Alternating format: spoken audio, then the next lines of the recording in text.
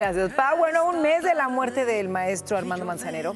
Alex Intec recordó todo lo que aprendió a su lado, obviamente. Además, ¿será que quiera seguir sus pasos y busque convertirse en el nuevo Manzanero? Vamos a escucharlo.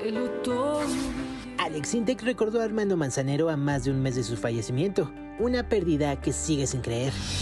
Hablar del maestro Manzanero es, es algo que eh, en este momento me desgarra el corazón, me desgarra el alma porque eh, a pesar de que pues ya tenía una edad avanzada, ya eh, este, estaba cercano a los 90 años de edad, sin embargo yo le veía una vitalidad brutal al maestro Manzanero. Confesó los atributos del músico que no podrá olvidar. Su sentido del humor, que, que muchos lo conocimos, eh, era eh, increíble, era brillante.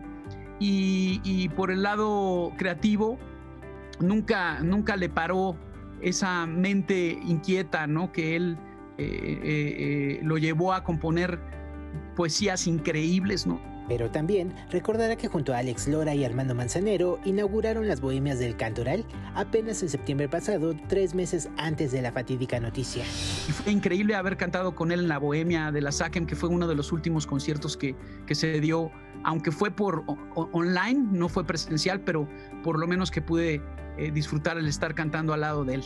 Y al tener similitudes como haber nacido en Mérida, Yucatán, ser cantautor y un apasionado del piano, ¿será que busque ser el nuevo Armando Manzanero? Siempre será una influencia importante para mí.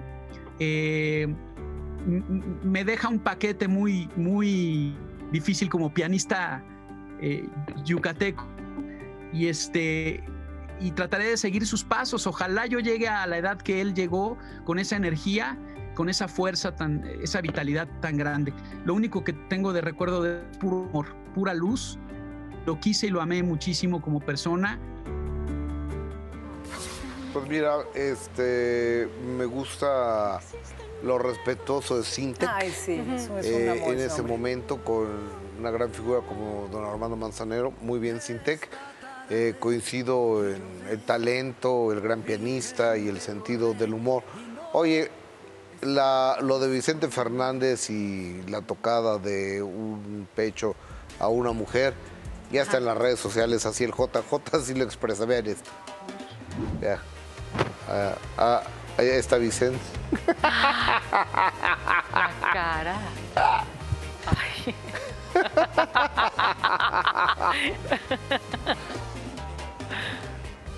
Es humor, ¿eh? Es Y- comedia. Y, y O sea, anda por todos lados. Esto me lo mandó el viernes a medianoche mi querido JJ. Compañeras, buenas tardes. Buen- buena semana, buena que semana a tengan una buena buen inicio Es de semana. comedia. Mañana yo a las 10 de la mañana los espero en mi canal de YouTube, Gustavo Adolfo Infante.